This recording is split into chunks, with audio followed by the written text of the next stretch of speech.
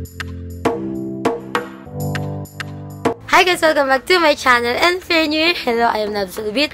So, actually, pangalawang video ko na to and yung first video na ginawa ko is itong no makeup makeup look and lalagay ko na siya dyan sa taas or sa description box. So, for today's video, papakita ko sa inyo kung ano yung filming equipment ko. So, tuwing kasi may... Blablabla. Madalas kasi sa mga videos ko, marami nagtatanong kung ano yung ginagamit kong camera, kung ano yung editor ko, ano pinapagawa ko ng intro. Ayun, so without further ado, let's get started. So, una sa lahat, gusto ko muna mag-apologize kung may naririnig kayong ingay kasi una, may nag-aayos sa labas and pangalawa, yung mga kapatid ko nasisigawan sa labas. So, yun. Okay, anyways, let's start. So, una-una sa camera. Actually, guys, ang camera lang na ginagamit ko is itong iPhone 5s ng mama ko. So, kung tatanungin nyo ako bakit hindi sariling camera or sariling phone ko yung gamit ko, kasi, yung camera ko dito, hindi gumagana yung mic pag front cam yung ginagamit ko. And ang hirap kasi mag-video pag di mo nakikita yung sarili mo. Kasi parang hindi ka, hindi ka komportable kung nakikita mo ba na nagre-record or what. Baka kasi mamaya, pag gamit ko yung back camera, baka mag-stop na siya tapos wala akong alam, 'di ba? Hindi ko ka, wala akong alam-alam na hindi na pala nagre-record. Kaya front cam yung ginagamit ko.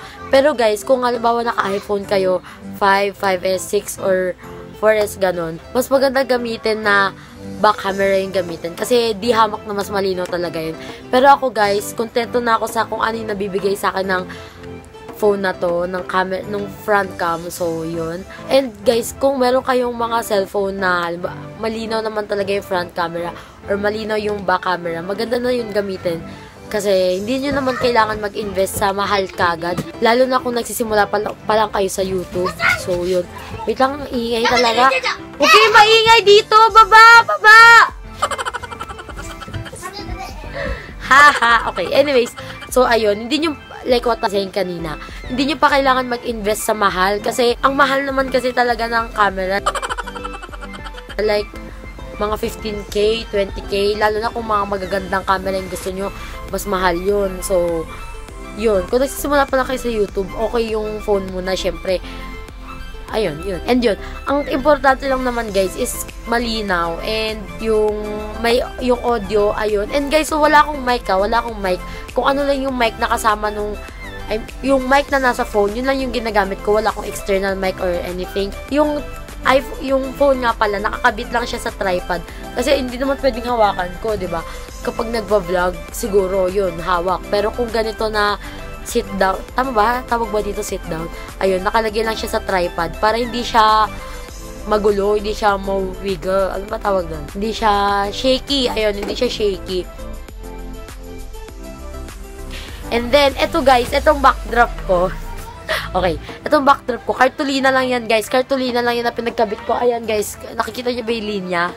O, diba? Cartolina lang yan. Eh, magkano lang yan? 7 pesos lang yan. Meron kasi mga backdrop talaga, yung malalaki talaga. And alam ko, 400 pesos yun. Wala akong alam kung saan siya hanapin. Pero, guys, kung gusto nyo ng, halimbawa, magba-backdrop kayo, and wala kayong makita na gusto nyong color ng, cart, ng backdrop sa cartolina, pwede rin naman maggawa kayo ng tela. Ako guys, sa past na videos ko, kung napanood nyo na ibang videos ko, meron akong gray, black, and blue. Halos lahat, hindi, actually lahat yun guys, tela lang talaga yun. And yung gray, kumot ko pa yun. kumot ko yung color gray sa totoo lang. And may pinaglalagay lang, oh, nilalagay ko lang siya dyan. Ito guys, inano ko lang to, skina, nis, ni-scotch tape ko lang para hindi siya magalaw. And ayan, ayan nga, medyo gusot-gusot na siya na onti, ba diba? And yung backdrop naman kasi na 400 pesos, ang laki-laki naman nun. And kung ganito lang naman kalaki yung kailangan mo, 'di ba? Hindi mo naman kailangan buong katawan. Ibang usapan na 'yun kung buong katawan yung kailangan mo. 'Yun talaga yung kakailanganin mo. Pero kung ganito lang, katulad ng sa akin mga makeup tutorials lang ganon or mga talk-talk ganon, okay na tong cartolina. Like what I said kanina, kung nagsisimula pa lang kayo sa YouTube, hindi nyo kailangan mag-invest sa mga mahal na stuff, ganon. Yung ring light naman na ginamit ko, lalagay ko rin siya dyan sa taas, guys. Lalagay ko yung yung link nung DIY ring light ko, guys. 200 pesos lang yun. 200 pesos lang. And tingnan nyo naman, di ba Ang linaw ko. Yun lang yung gamit ko. Yun, guys. 200 pesos lang yun. Ilalagay ko yung link sa description box below kung saan yung video na ring light na yun. And guys, ayun, ayun lang talaga, wala na talaga akong ibang gamit na lighting. As in yung mga, sa, ano ba tawag nun, softbox, wala akong ganun. Tsaka yung mga reflector, Boom boom. Isang ring lang talaga, dyan lang sa harap ko. As in, para maka, ma-focus lang siya sa akin. And ayun, lalagay ko na lang talaga dun sa description box kung paano ko siya ginawa. So, ang editor ko is Wondershare Filmora. Kung kilala nyo si Ate Lou Sanchez, sa kanya ko nakuha yun. Kasi yun yung past editor niya, yung Wondershare Filmora. And pag ginamit nyo yun, guys, kung makikita nyo yung intro ko, yung may bunny, tas yung name ko na parang nasa banner, doon ko lang din siya kinuha. Hindi ko siya ginawa talaga. Kinuha ko lang siya doon. Kasi meron kang options ng mga openers doon. Nalagay ko siya dito. Ayan. Meron ka mga pagpipilian doon na parang mga intro na. And, pero in the future, gagawa ko ng sarili kong intro. Pero naghahanap pa kasi ako kung saan ko siya pwedeng gawin. Pero yun nga, yung intro ko, dun ko lang din kinuha sa Wondershare Filmora. And maganda siya guys gamitin kasi maganda talaga siya. Like, andun din talaga yung mga lahat ng kailangan mo. And free lang siya. Actually, nahack ko lang yun. nahack ko lang siya. May bayad talaga siya.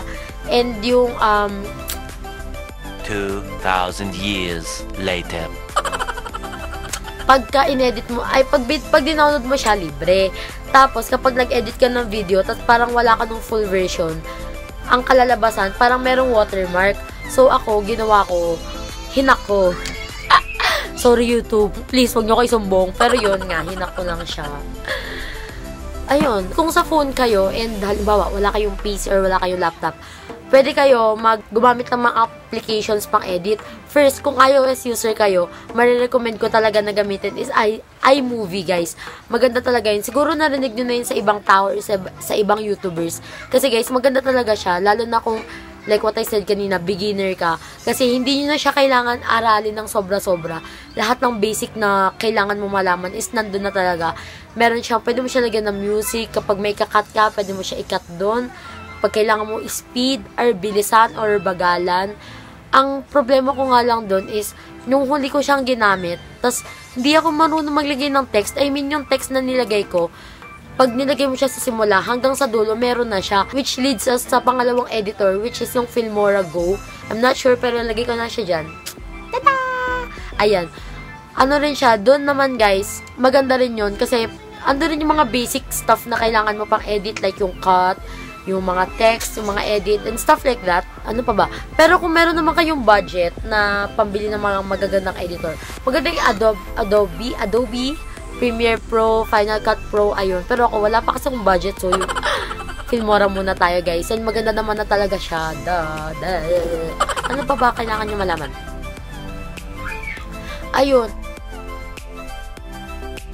And yung mga background music naman, yung mga background music sa videos ko, kinukuha ko lang din yung sa YouTube. Pero yung mga no, walang copyright, kasi, ano, ayaw naman natin mag-copyright, di ba? So, yun. ano yun, di ba? Ang epal. Ang epal, nakakainis, di ba?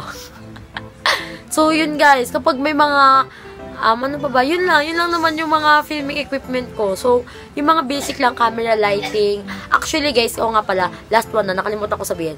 Kung halimbawa, wala pa kayong budget pang gawa ng ring light or pang bili ng ring light, pwede naman tumapat lang kayo sa araw. Ilalagay ko yung video ko dito, ayan. Ayan. Yung ginamit ko lang dyan, natural lighting lang siya, guys. As in, sa araw lang, tumapat ka lang sa bintana, guys. Tumapat ka lang. Ang downside nga lang doon, kailangan mo mag-film ng umaga.